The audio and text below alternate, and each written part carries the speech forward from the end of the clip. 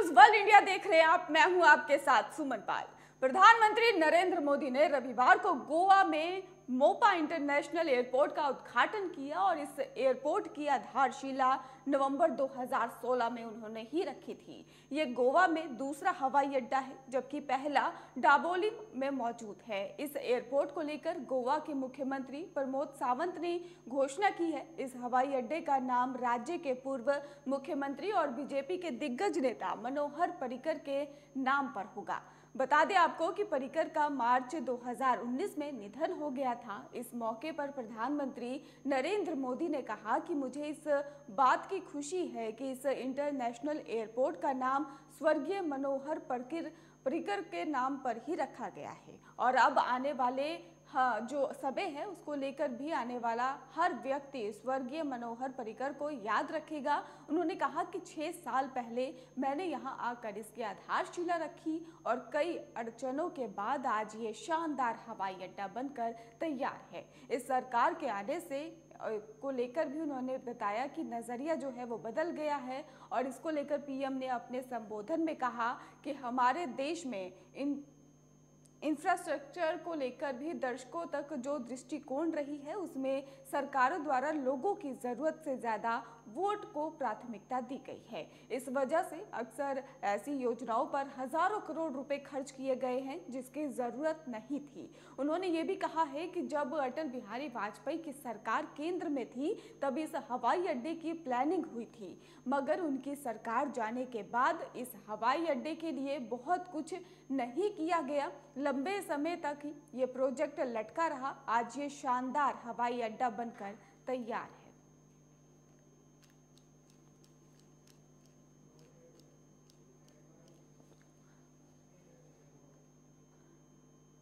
तो बता दें आपको कि गोवा इंटरनेशनल हवाई अड्डे एयरपोर्ट के उद्घाटन के बाद पीएम मोदी ने कहा है कि पिछले आठ साल में बहत्तर हवाई अड्डे बनाए गए हैं। बता दें आपको कि प्रधानमंत्री नरेंद्र मोदी ने रविवार को गोवा में मोपा इंटरनेशनल एयरपोर्ट का उद्घाटन किया और इस एयरपोर्ट की आधारशिला नवंबर 2016 में रखी है।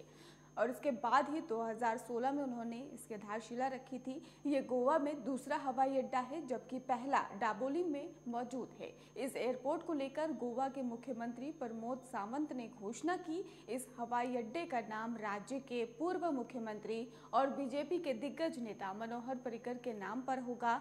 और बताते चले आपको कि पर्रिकर का मार्च दो 2019 में निधन हो गया था और इस मौके पर प्रधानमंत्री नरेंद्र मोदी ने कहा कि मुझे इस बात की खुशी है कि इस इंटरनेशनल एयरपोर्ट का नाम स्वर्गीय मनोहर पर्रिकर के नाम पर रखा गया है और अब आने वाले हर व्यक्ति स्वर्गीय मनोहर पर्रिकर को याद रखेगा। उन्होंने कहा कि छः साल पहले मैंने यहाँ आकर इसकी आधारशिला रखी। कई अड़चनों के बाद आज ये शानदार हवाई अड्डा बनकर तैयार है और इस सरकार के आने से ही इंफ्रास्ट्रक्चर को बनाने वाले नज़रिया ही बदल गया है और पीएम ने अपने संबोधन में यह भी कहा कि हमारे देश में इंफ्रास्ट्रक्चर को लेकर दशकों तक जो दृष्टिकोण रही है, उसमें सरकारों द्वारा लोगों की ज़रूरत से ज़्यादा वोट बैंक को प्राथमिकता दी गई है। और इस वजह से अक्सर ऐसी परियोजनाओं का हज़ारों करोड़ रुपए खर्च किए गए और जिसकी ज़रूरत नहीं थी। उन्होंने कहा कि जब अटल बिहारी वाजपेयी की सरकार केंद्र में थी, तब इस हवाई अड्डे की प्लानिंग हुई थी, मगर उनकी सरकार आने के बाद इस हवाई अड्डे के लिए बहुत कुछ नहीं किया गया। लंबे समय तक ये प्रोजेक्ट लटका रहा, आज ये शानदार हवाई अड्डा बनकर तैयार है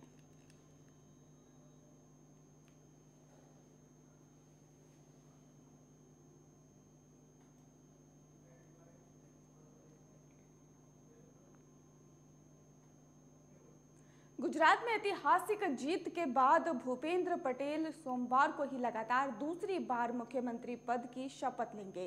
पटेल के साथ कुछ नए मंत्रियों के भी शपथ लेने की संभावना है। मंत्रिमंडल में अनुभवी चेहरों के साथ साथ युवाओं का एक कॉम्बिनेशन देखने को मिलेगा और बीजेपी ने भूपेंद्र पटेल के शपथ ग्रहण को मेगा शो बनाने की तैयारी कर ली है। और इस शपथ ग्रहण में शामिल होने के लिए प्रधानमंत्री नरेंद्र मोदी रविवार शाम को अहमदाबाद पहुँच गए हैं। आपको बता दें कि इसके अलावा गृह मंत्री अमित शाह, रक्षा मंत्री राजनाथ सिंह और बीजेपी अध्यक्ष जेपी नड्डा समेत बीजेपी शासित राज्यों के मुख्यमंत्री और केंद्रीय मंत्री भी कार्यक्रम में शामिल होंगे। और भूपेंद्र पटेल ने चुनाव में सबसे ज़्यादा एक दशमलव बानबे लाख वोटों के अंतर से घाट लोडिया सीट जीती है। भूपेंद्र की लो प्रोफ़ाइल बीजेपी नेताओं में गिनती होती है। वे कड़वा पाटीदार समाज से सीएम बनने वाले पहले नेता हैं।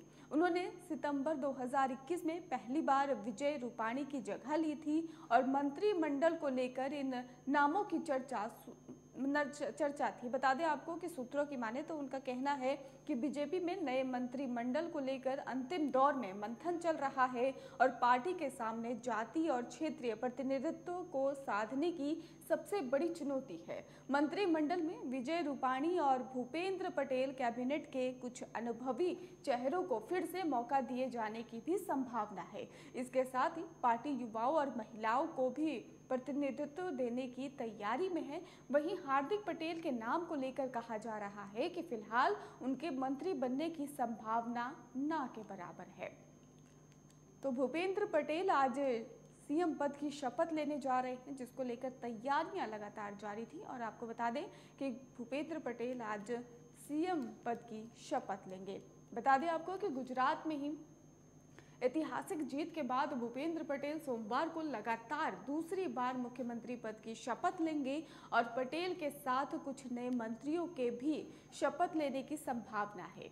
आपको बताते चले कि इसको लेकर मंत्रिमंडल के अनुभवी चेहरों के साथ साथ ही युवाओं के एक कॉम्बिनेशन देखने को मिलेगा। आपको ये भी जानकारी दे दें कि आज भूपेंद्र पटेल शपथ लेंगे और इसके साथ ही बीजेपी ने भूपेंद्र पटेल के शपथ ग्रहण को मेगा शो बनाने की जो पूरी तैयारी है, उसको भी कर दी है। बता दें आपको कि इसको लेकर भी जानकारी सामने आ रही है कि इस शपथ ग्रहण में शामिल होने के लिए प्रधानमंत्री नरेंद्र मोदी यहाँ पर रविवार शाम को ही पहुँच गए हैं। जानकारी ये भी है। तो आपको बता दें कि गुजरात में बीजेपी ने ऐतिहासिक जीत हासिल की है और पार्टी ने राज्य में एक सौ छप्पन सीटों पर जो जीत है वो हासिल की। ये गुजरात में किसी भी पार्टी का अब तक का सबसे अच्छा प्रदर्शन है। इससे पहले कांग्रेस ने उन्नीस में ही एक सौ उनचास सीटें जीती थी, लेकिन इस बार कांग्रेस सिर्फ़ 17 सीटों पर ही सिमट गई है।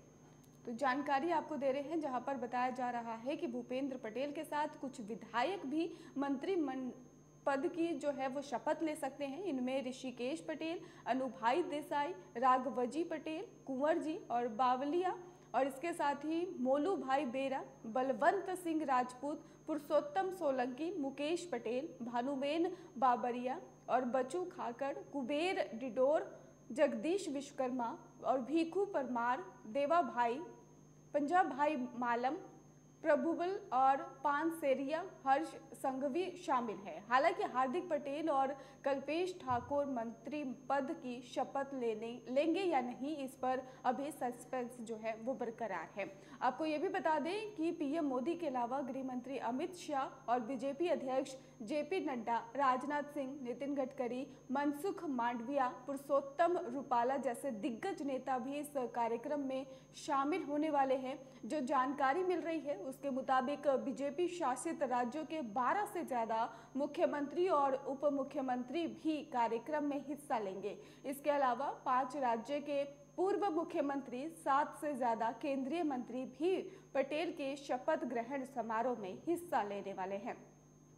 और इसके साथ ही आज की शपथ ग्रहण समारोह में त्रिवेंद्र सिंह रावत, बाबूलाल मरांडी और केशव प्रसाद मौर्य, जैन सुखदेव मेर और प्रमोद सावंत, प्रेम सिंह तोमर शिवानंद सोनोवाल शामिल होने वाले हैं और बीजेपी के स्टार प्रचारक और यूपी के मुख्यमंत्री योगी आदित्यनाथ को भी न्योता दिया गया है। साफ़ संदेश देने का प्रयास है कि बीजेपी को जीतना बड़ा जनादेश मिला है और उतना ही भव्य अपना शपथ ग्रहण समारोह भी होगा। गुजरात विधानसभा चुनाव में बीजेपी ने प्रचंड जीत हासिल की है। तो आपको बता दें, इसके अलावा गृह मंत्री अमित शाह, रक्षा मंत्री राजनाथ सिंह, बीजेपी अध्यक्ष जेपी नड्डा समेत जो बीजेपी शासित राज्य के मुख्यमंत्री और केंद्रीय मंत्री भी कार्यक्रम में शामिल होंगे। भूपेंद्र पटेल ने चुनाव में सबसे ज़्यादा एक दशमलव बानबे लाख वोटों के अंतर से घाट लोडिया सीट जीती है। भूपेंद्र की लो प्रोफ़ाइल बीजेपी नेताओं में गिनती होती है। वे कड़वा पाटीदार समाज से सीएम बनने वाले पहले नेता हैं। उन्होंने सितंबर 2021 में पहली बार विजय रूपाणी की जगह ली थी और मंत्रिमंडल को लेकर इन नामों की चर्चा रही है। आपको बता दें कि सूत्रों की माने तो बीजेपी में नए मंत्रिमंडल को लेकर अंतिम दौर में मंथन चल रहा है और पार्टी के सामने जाति और क्षेत्रीय प्रतिनिधित्व को साधने की सबसे बड़ी चुनौती है। मंत्रिमंडल में विजय रूपाणी और भूपेंद्र पटेल कैबिनेट के कुछ अनुभवी चेहरों को फिर से मौका दिए जाने की भी संभावना है। इसके साथ ही पार्टी युवाओं और महिलाओं को भी प्रतिनिधित्व देने की तैयारी में है। वहीं हार्दिक पटेल के नाम को लेकर फ़िलहाल सस्पेंस बना हुआ है। फ़िलहाल उनके मंत्री बनने की संभावना ना के बराबर है।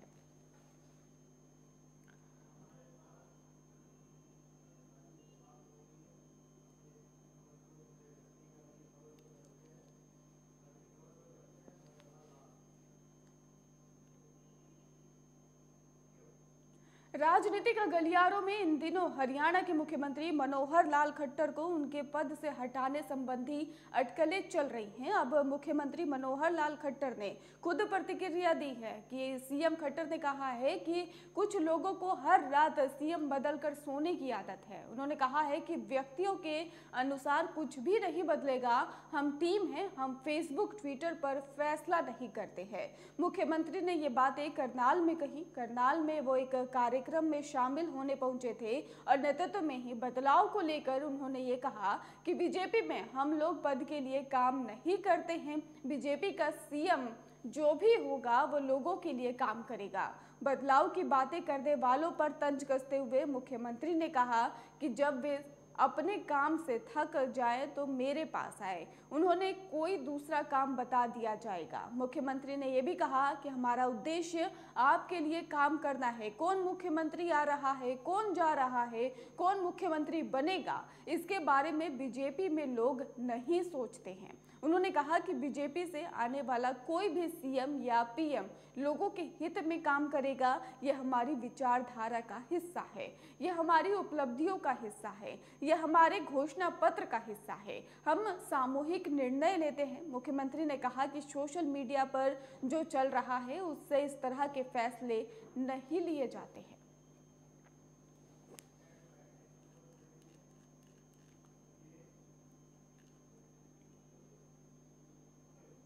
ज्ञान वापी केस में ही एआईएमआईएम अध्यक्ष अजदुद्दीन ओवैसी, उनके भाई अकबरुद्दीन ओवैसी और सपा प्रमुख अखिलेश यादव की ही। को लेकर जो चर्चा चल रही थी, उसको लेकर भी बात सामने आई है। जल्द तो बता दें आपको कि बढ़ सकती है समस्या, ऐसा सामने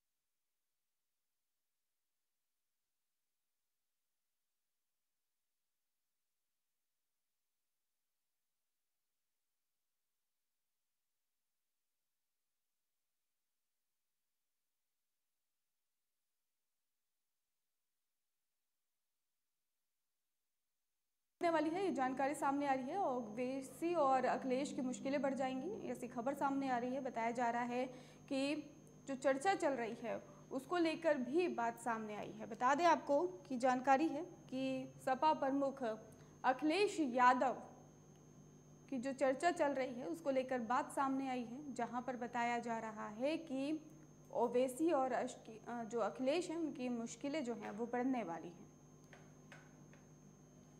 है, एट स्पीच मामले में ही आज सुनवाई भी होगी, ये भी जानकारी है। तो ओवैसी की मुश्किलें बढ़ने वाली हैं। खबर क्या है, वो हम आपको पूरी बता देते हैं। दरअसल, सपा अखिलेश, प्रमुख जो है, अखिलेश यादव की हेट स्पीच को लेकर ही आज एमपी, एमएलए कोर्ट में सुनवाई होगी। इससे पहले पिछली तारीख 6 दिसंबर को चौक थाने से कोर्ट में मामले से संबंधित रिपोर्ट पेश की गई थी। रिपोर्ट पेश होने के बाद सुनवाई की अगली तारीख 12 दिसंबर तय की गई थी।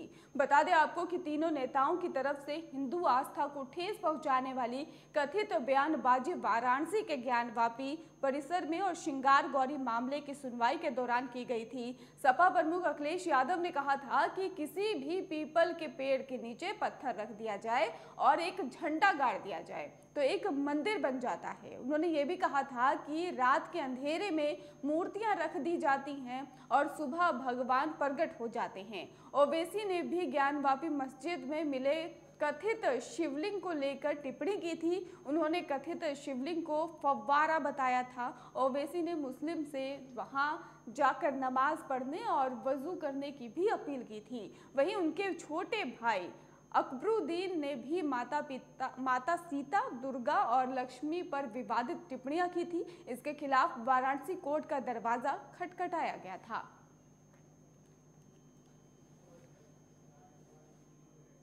और इसी खबर पर हमारे साथ यूपी से ब्यूरो हेड दानिश वारसी हमारे साथ जुड़ चुके हैं। दानिश, पूरा मामला क्या है? विस्तार से बताइएगा।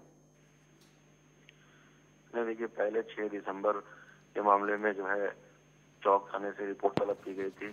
जिस पर वकील, एक के वकील द्वारा ये आरोप लगाया गया था और अखिलेश यादव और वैसी पर की बर्सी मनाने के तहत ये आरोप लगे थे और मड़काने के तहत ये आरोप लगे थे। इस पे एफ़ आई आर रिपोर्ट मांगी गई थी और आज श्रृंगार गौरी मामले में और ज्ञानव्यापी मस्जिद के मामले में जो है तीन आरोपी जो है, वो सैदपुरुद्दीन वैसी असुद्दीन वैसी और अखिलेश यादव। इन पर भी वाराणसी में कोर्ट में जो है एम पी एम कोर्ट में जो है, आज मैं कह सकता हूँ, याचिका दायर की गई थी इससे पहले और आज जो इस पे सुनवाई होनी है। तो इसको लेकर के अखिलेश यादव ने ये बात कही थी कि किसी भी पीपल के पेड़ के नीचे झंडा और पत्थर गाड़ देने से वहाँ पर आस्था प्रकट हो जाती है और भगवान बन जाते हैं।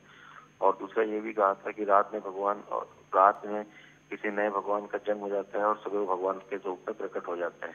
इसको लेकर के अखिलेश यादव पर हेड स्पीच के मामले में सुनवाई होनी है और दूसरा अकबरुद्दीन वैसी ने भी एक विवादित बयान दे दिया था, जिसमें ज्ञान व्यापी को लेकर उन्होंने शिवलिंग को फवारा बताया था कि फवारे को शिवलिंग बताया जा रहा है और उन्होंने विशेष धार्मिक लोगों से अपील भी की थी कि वहाँ पर जाकर के वज़ू बनाकर नमाज़ पढ़ने की भी अपील की थी। इस पर वैसे वैसे ही गिर गए हैं। और दूसरा अकबरुद्दीन वैसी ने भी विवादित टिप्पणी सीधा और भगवान राम के ऊपर की थी, जिसको लेकर के भी अकबरुद्दीन वैसी पर कहीं भी आरोप कहीं न कहीं शामिल हो गए हैं। इसको लेकर के आज वाराणसी कोर्ट में सुनवाई होनी है और इसमें आरोप तय होने हैं कि आखिर इसमें क्या कार्रवाई होगी और कोर्ट इसको क्या संज्ञान लेगा। हालाँकि ये छह दिसंबर के बाद का दूसरा प्रकरण है। इसमें तीन लोगों को शामिल किया गया। इससे पहले दो लोग शामिल थे, अखिलेश यादव और असुद्दीन वैसे और अब इस बार तीन लोगों को शामिल किया गया है। तो यूपी के अंदर हेड स्पीच पर कहीं ना कहीं कार्रवाई हो रही है और इसको वाराणसी कोर्ट कितना गंभीरता से लेगा, ये वाराणसी कोर्ट ही बताएगा। लेकिन फ़िलहाल इन तीनों मामलों में अखिलेश यादव और असुद्दीन वैसी उनके भाई अकबरुद्दीन वैसी पर आज सुनवाई होनी है। जी। जी दानिश, इस पूरे मामले को लेकर अगर राजनीतिक मोड़ पे देखा जाए तो किस तरह के विवादित बयान चल रहे हैं? देखिए हेड स्पीच के मामले में जो विवादित बयान दिए गए हैं, उसको कहीं ना कहीं कोर्ट में शामिल करके और बढ़ावा दिया जा रहा है। दूसरी चीज़ बीजेपी में जब समाजवादी पार्टी में भी अनुराग भदौरिया के बाद ये मैं कह सकता तीसरी कार्रवाई है। अगर सभा प्रवक्ता अनुराग भदौरिया ने उधर मुख्यमंत्री योगी आदित्यनाथ और उनके गुरु को अवधित टिप्पणी की थी और आज इधर तीनों पर M P M L court के वाराणसी में एक याचिका दाखिल हुई, इस पर सुनवाई होनी। तो मैं ये कह सकता हूँ कि यूपी के अंदर जो विपक्ष है, अगर वो बयान विवादित या स्पीच दे रहे हैं तो उस पर कार्रवाई की जा रही है। लेकिन जो भाजपा के लोग हैं, जो वो दे रहे हैं, उन पर कहीं ना कहीं कोई कार्रवाई शायद नहीं हो पा रही इसको लेकर के भी ये सोचने वाली बात है कि राजनीतिक का एजेंडा बनाया गया है और वाराणसी कोर्ट में जो इसकी अपील की गई है, उस पर भी कहीं ना कहीं राजनीतिक मोटिवेट के तहत की गई है। अब देखना ये है कि इसमें सत्ता पक्ष के लोग क्या बयान देते हैं और विपक्ष के लोग भी इस पर क्या बयान देते हैं, क्योंकि तीन तीन लोगों का नाम है, वो अकबरुद्दीन ओवैसी और असुद्दीन ओवैसी और दूसरा अखिलेश यादव। अब मैनपुरी की सीट और दूसरा ये आपकी खतौली की सीट निकालने के बाद अब क्या राजनीतिक मुद्दे बनते हैं ये सोचने वाली बात है कि समाजवादी पार्टी के खाते में दो सीट आई हैं और एक भाजपा के खाते में। इससे राजनीतिक गलियारे में कहीं ना कहीं तेज़ी पकड़ेगी और आपसी खींचतान के साथ साथ धार्मिक मुद्दे और स्पीच के मामले भी बढ़ेंगे। जी, दानिश, आपका बहुत बहुत शुक्रिया हमारे साथ जुड़ने के लिए और अहम जानकारी देने के लिए। तो हेड स्पीच मामले को लेकर आज सुनवाई होगी। बता दें आपको कि ओवैसी और अखिलेश यादव की मुश्किलें जो हैं वो बढ़ सकती हैं।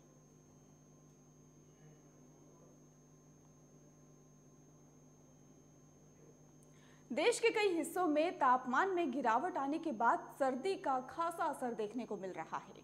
आपको बता दें कि कुछ जगहों पर कोहरे से लोगों की परेशानी जो है वो लगातार बढ़ गई है।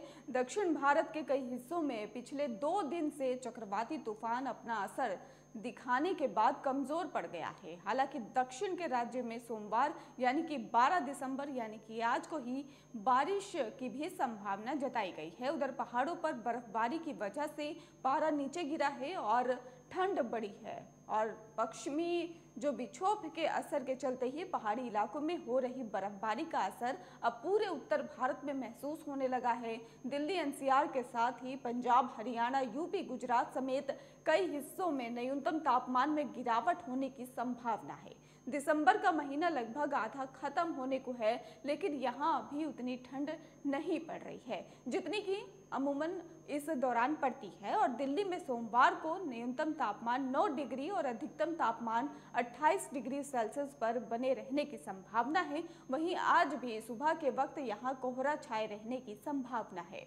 मौसम विभाग के अनुसार बताया गया है कि आने वाले दिनों में तापमान में गिरावट आएगी। 13 दिसंबर से अधिकतम और न्यूनतम तापमान में 2 डिग्री सेल्सियस तक की कमी आने की भी संभावना है। 12 दिसंबर से तेज हवाएँ चल सकती हैं और अगले दो से तीन दिनों तक राजधानी को प्रदूषण से राहत भी मिलेगी और रविवार को राजधानी में प्रदूषण का स्तर बेहद खराब दर्ज किया गया है। मध्य प्रदेश के कई हिस्सों में तापमान गिरने के बाद से ठंड बरकरार है और ठंडी हवाएँ चलने की वजह से दिन के तापमान में भी कमी आई है और इस हफ़्ते से मौसम बदलने की संभावना है और प्रदेश में कई जगहों पर बादल छाए रहने के साथ बारिश का अनुमान है और इसकी वजह से दिन के तापमान में और गिरावट आएगी। मौसम विभाग के अनुसार बताया गया है कि यूपी की राजधानी लखनऊ न्यूनतम तापमान 12 डिग्री और अधिकतम तापमान 27 डिग्री सेल्सियस दर्ज किया जा सकता है। और सुबह के वक्त कोहरा छाया रहेगा और उधर गाजियाबाद में न्यूनतम तापमान 11 डिग्री और अधिकतम तापमान 25 डिग्री सेल्सियस के आसपास बने रहने की संभावना है। जम्मू कश्मीर के मध्य और ऊँचे इलाकों में पिछले दिनों बर्फबारी हुई है। बर्फबारी का यह सिलसिला जारी रहने की संभावना है।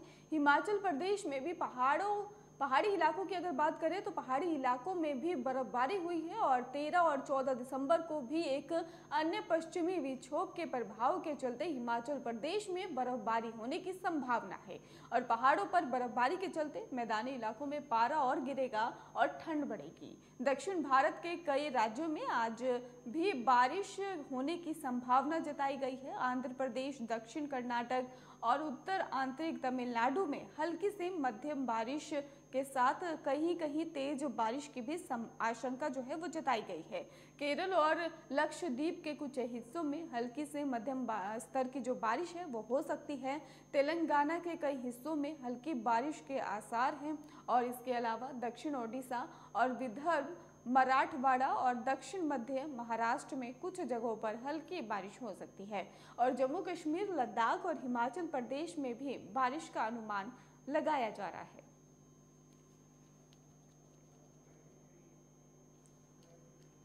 तो दिल्ली में प्रदूषण से अब राहत मिलने वाली है। जानकारी सामने आई है कि दिल्ली में प्रदूषण से राहत मिलेगी, वहीं ठंड का प्रकोप जो है वो लगातार बढ़ता हुआ दिखाई दे रहा है। बता दें आपको कि मौसम विभाग ने अलर्ट जारी कर दिया है और इसके साथ ही उत्तर भारत में और ज़्यादा कप, कपी वाली ठंड बढ़ने वाली है। बताया जा रहा है कि दक्षिण के कई राज्यों में अब बादल भी बरसेंगे और ये भी अनुमान है कि बारिश होने के बाद ठंड का जो प्रकोप है वो लगातार बढ़ता ही चला जाएगा। तो आपको जानकारी दे रहे थे मौसम की, जहाँ पर बताया जा रहा है कि पहाड़ों पर बर्फबारी की वजह से पारा नीचे गिरा है और ठंड बढ़ी है। और अगर पश्चिमी विक्षोभ के असर के चलते बात करें तो फिर असर के चलते ही पहाड़ी इलाकों में हो रही बर्फबारी का असर अब पूरे उत्तर भारत में महसूस होने लगा है। दिल्ली एनसीआर की बात कर ले तो दिल्ली एनसीआर के साथ ही पंजाब, हरियाणा, यूपी, गुजरात समेत कई हिस्सों में न्यूनतम तापमान में गिरावट होने की संभावना है और दिसंबर का महीना लगभग आधा खत्म हो चुका है। लेकिन यहाँ अभी उतनी ठंड होती हुई नहीं दिखाई दे रही है, लेकिन बारिश के बाद लगातार ठंड बढ़ सकती है।